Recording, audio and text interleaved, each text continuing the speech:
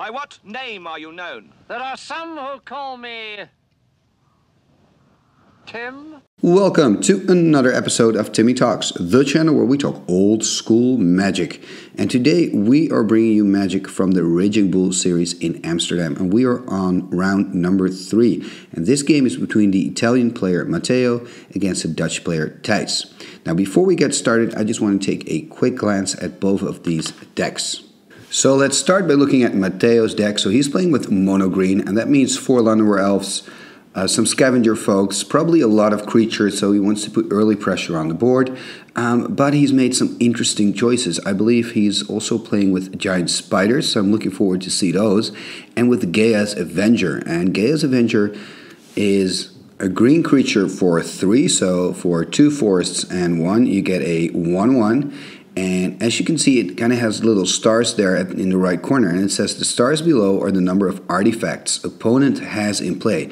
So it's it's pretty cool because in old school people are playing with a lot of artifacts. So I'm really curious. So hopefully Matteo, you get to cast the Gaea's Avenger, and I can actually see it in action and and see how this card uh, functions and in an old school environment. Really looking forward to that. Now let's look at the deck list of Thijs. So uh, he's playing with a deck that he calls the Force, and it's actually a three-color deck. It's white, it's red, and it's green, and it's full of beefy creatures. Like you've got Force of Nature, but you also have Shivan Dragon. You have Serra Angel, and a card that I find really interesting, and I'm going to pay some special attention to in this match is the Ifh-Biff Efreet. So that's a 3-3 flyer from Arabian Nights with a built-in Hurricane mechanic. So it's going to be interesting to see if Thijs can kind of uh, get control of the game or if he loses before he can get control. Because I'm expecting Mateo in this matchup to be more of the aggressive player, and then Thijs, you know, building board presence, wants to go to a more control, uh, mid range kind of situation here. So the longer the game is going to take, the more advantage. Advantage it is uh, for Thijs, I think, but we'll see. Let's quickly go to game number one and see how this matchup works out. Game number one, and I believe it's uh, Matteo who's sitting on the left, who's on the play with his Avenger's Green. And of course, he has something to do in game one because he's playing mono green. And there's the Black Vise. that's a great start here for Mateo, passing turn to Thijs, who's instantly going down here to 17 life.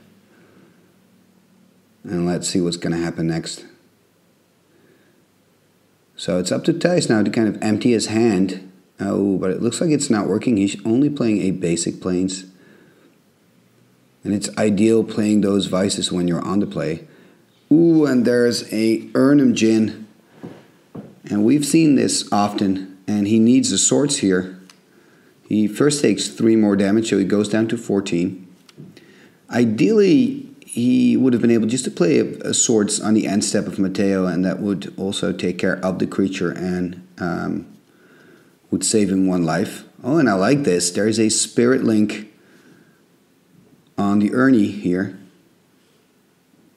An Erhnam Djinn, actually named after Herman, an acquaintance of the creator of the game.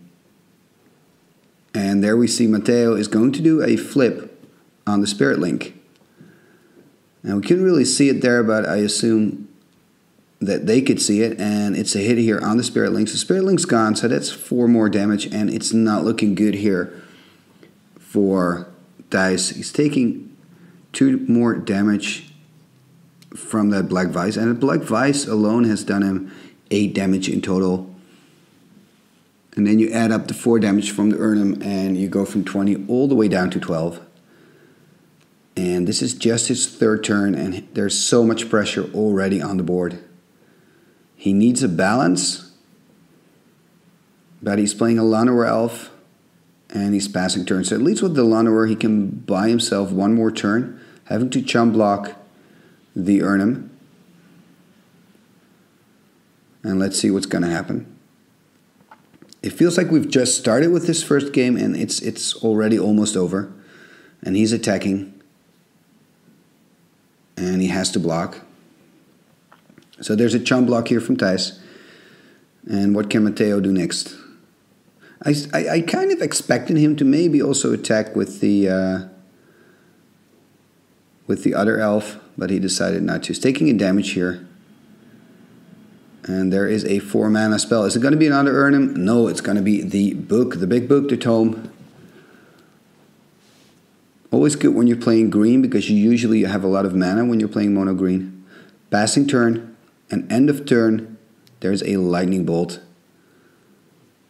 So at least that saves him one creature, but the biggest problem, of course, is that 4 5 Erhnam. And at least he's not taking any damage from the vises anymore because he played that lightning bolt. So maybe that was even more important. Oh, this is interesting. So, I mean, he, he's facing down, he's looking at two black vises, and yet he decides to play the wheel. So that means that the cards in his hand weren't going to save him. And he's, of course, looking for a way to deal with that Erhnam Djinn. But even if he manages to deal with the Erhnam Djinn, uh, he's just playing another chum block here. I wanted to say even if he manages to deal with the Erhnam Djinn, he will go down to six cards, which would mean he would get four damage from the Vises, um, still bringing him down from eight to four life. But it looks like he's getting another turn at least with chum blocking the uh, Djinn again. And that's exactly what happens here. Thijs is blocking the Erhnam Djinn, so that's bye-bye Llanowar Elves. Another Black Vise, and that means potentially 6 damage here for Thijs. Now remember, oh, there's a Storm Seeker. I like this. Matteo, I, I have to respect your build, man. You're playing Storm Seeker main board. That's pretty cool. You don't see that. And, um, I mean, he's going down to 2 life, and I think he's dead now. Or, okay, he can still play a disenchant. Truly can do that. I'm liking this Thijs. He's trying to stay alive, but it's not enough. He still has 5 in hand, and with the double vise means 2 damage here for Thijs. But wow, Storm Seeker main board, Matteo. That's so cool. And hopefully in, in, in game number two, uh, we can also see a little bit more of Thijs decks because I'm really looking forward to seeing some Shivan Dragons and some Force of Natures hitting the board. So let's let them sideboard and start with game number two. Game number two with Thijs on the play, so that may help, especially when we think back of all those black vises that Thijs saw. At least this is a much better start for Thijs with a Plateau and a Mox Emerald. So the green Mox there. And let's see if Mateo can have another explosive start. If he's actually going to. Well, he is keeping it, I guess, because he said, you know, because they're already playing. Okay, that's a forest. And there's a Llanowar Elf. So kind of the opening you want to see. Oh, and there's also a Mox from his side. And there's a Scavenger Folk. Again, a very good and explosive opening here from Matteo. And let's see what Thijs is going to do here. So it's Italy versus the Netherlands. And Thijs is playing a balance. Nice. And he's discarding a card himself, Thijs. I believe that's a plateau there in the corner. And Matteo is losing two creatures. But it looks like it doesn't really matter. There's the Elves of Deep Shadow and a Black Vise. Uh, no damage here for Thijs from the Vise this time. And just Black Vise kind of loses so much power, I feel, when you're not on the, uh, on the play, but when you're on the draw. And there's a tap for four, and there's another Erhnam, so an Erhnam Djinn, the 4-5 powerhouse from Arabian Nights. And you, you see the Ernie a lot. You see it in a lot of builds. And there's the Spirit Link again. And remember, in, in game one, of course, Matteo was lucky with finding. Uh, oh, and there's a Tranquility. I wanted to say with finding that Chaos Orb, because there are not that many weapons against enchantments. Uh, in green, I wanted to say, but of course you have Tranquility, and Tranquility takes care of the Spirit Links. And Matteo probably boarded in some extra Spirit Links after, um, you know, after that first game where he got the information that Thijs is playing with uh, Spirit Links. And this is a nice play here from Thijs, playing a Bolt over the Elves of Deep Shadow, and he swords to Plowshares over the Erhnam. Does mean that Mateo gets 4 life, but Thijs is removing creatures like crazy here. And so he's on 23. Took a damage earlier from the Elves of Deep Shadow, and there's a disenchant over the Mox.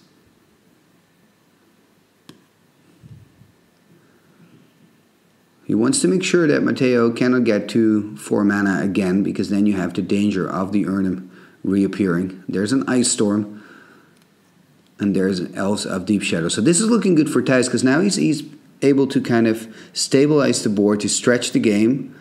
And there's a play here. Oh, and there it is, Gaea's Avenger. And Gaea's Avenger is now a 2-2 because there is a Mox on the side of Thijs and a force of nature. So I guess Gaea's Avenger versus force of nature. In this case, the Avenger is not going to win.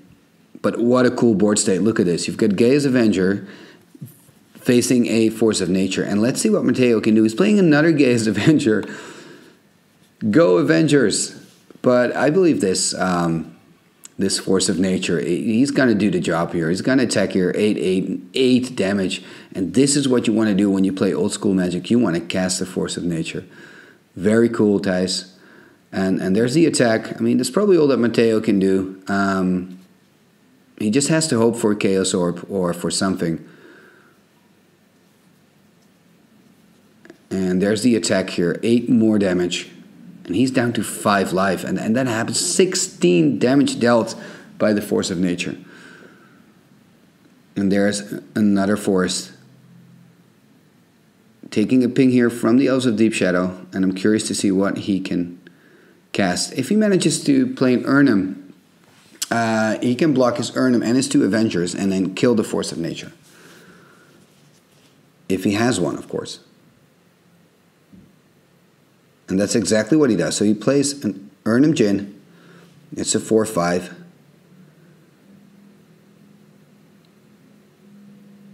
And this is interesting. All of a sudden, Thijs has to think Am I going to keep my force of nature as a blocker, or am I going to attack to up the pressure, or maybe drawing to some more removal? That would be the best answer. And he's deciding to keep the pressure on. So here we're going to see a nice triple block. And it's up to Thijs to divide the damage. And I think that's the best choice. Killing the uh, Avenger.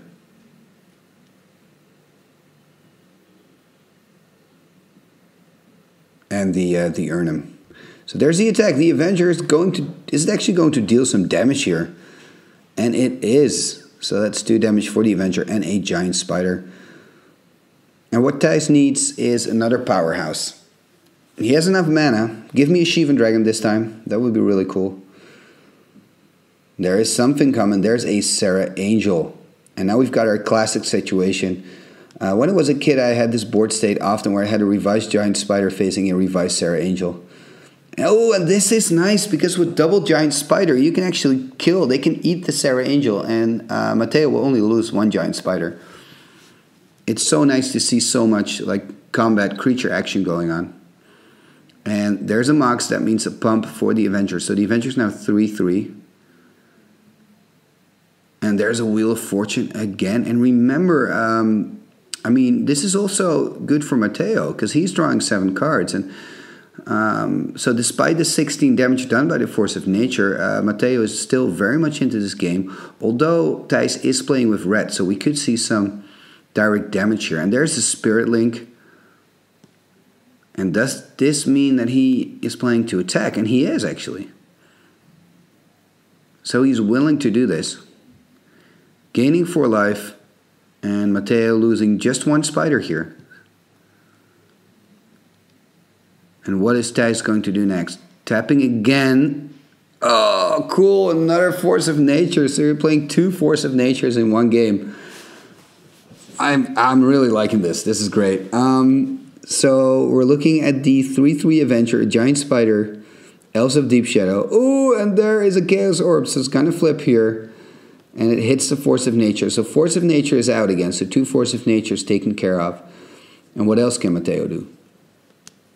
So all of a sudden it's Matteo again who has the advantage. And he plays an Llanowar Elf there, attacks, and he's taking the damage, going to seven. Remember, there is that Black Vise. I'm not sure how many cards Thijs has in hand. I believe it's five or maybe six. He's now on seven. It's going to six, so that means he has five cards in hand. Now, drawing card number six. And Thijs must be thinking, what, what am I doing wrong here? I, I, I I managed to cast a Force of Nature, a Serra Angel, and a Force of Nature, and my opponent is still not dead. So let's see what else is going to happen here. Is he? Oh, he's attacking with the Llanowar Elves. Interesting, he has a Pendelhaven to make it a 2 3. That's exactly what he does here. So the Elves of Deep Shadow die. And then he's playing another Llanowar Elf. And can he find something impressive to keep pressure on the board? And I feel that, you know, maybe for when you're playing with Force of Nature, you do need Berserks.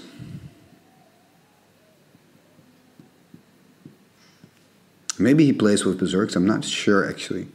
And there he's pumping the Mishra's factory, realizing as well that, you know, he's on four, but Thijs is, is also on six. So Thijs will be forced to block here. Probably he's going to use his strip mine on the Mishra's factory.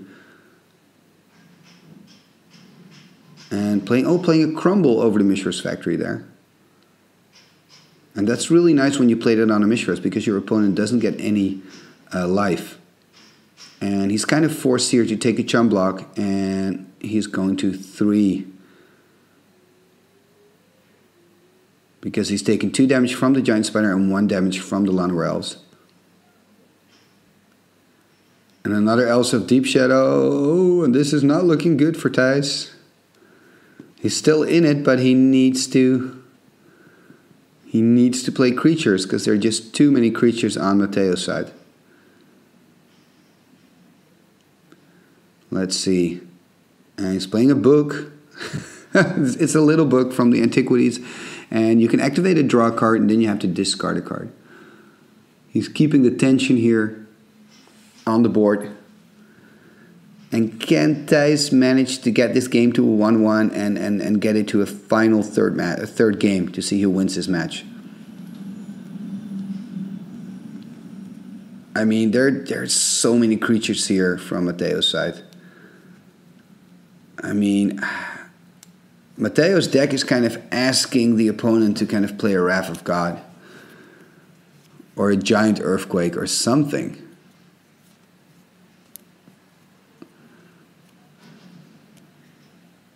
Curious to see. Oh, of course, yeah, the, the Gaea's Avenger gets another plus one plus one because of the book. So it's now a 4 4.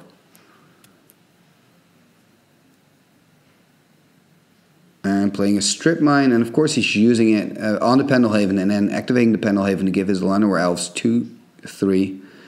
And of course he's just going to attack. It's interesting here that he doesn't attack with the two elves, or does he? I think I, I think I just would. I mean, worst case, he's just going to block one, and he can't really afford that anyway. He has to chum block the Gaea's Avenger here. Actually, he's going to die. Does he have some instant removal? I think this is game. He's on 3 life. So choosing to attack with that extra elf is actually costing him. No, there's a lightning bolt. And of course he wanted to keep that lightning bolt to um, uh, to kill Mateo possibly. But this is so cool. He's on one life. This is exciting. And and I think Thijs needs direct damage, but I'm not sure if he actually plays a fireball. I know he plays lightning bolts. I don't believe he plays a fireball. And an earthquake cannot save him here. And let's see what can Thijs do. This is his last chance, his last turn. Playing a spitting slug. Fantastic creature, by the way, spitting slug. But that's it. So I think I think Mateo, you got this. With your Avenger here attacking and there's a lightning bolt going to one, and oh no, no, no. And I guess he just drew that lightning bolt, so that's very unfortunate for Thijs. But uh, Mateo and Thijs, thank you for these games, man. They're so much fun. Seeing Gaea's Avenger, seeing Force of Nature, Spitting Slugs, Giant Spiders. Super cool decks, super cool decks. Um, thank you thank you for this and good luck uh, in the in the rest of the tournament. And this was a great round number three here from the Raging Bull series in Amsterdam. Thank you for watching this episode of Timmy Talks. If you would like to see some more old school magic, there are some links appearing on the screen right now that you can click on to see some more games. And of course, you can visit the channel Timmy the Sorcerer and you can see some more old school magic. For now, thank you for watching uh, Timmy Talks, the channel where we talk old school magic. And see you next time.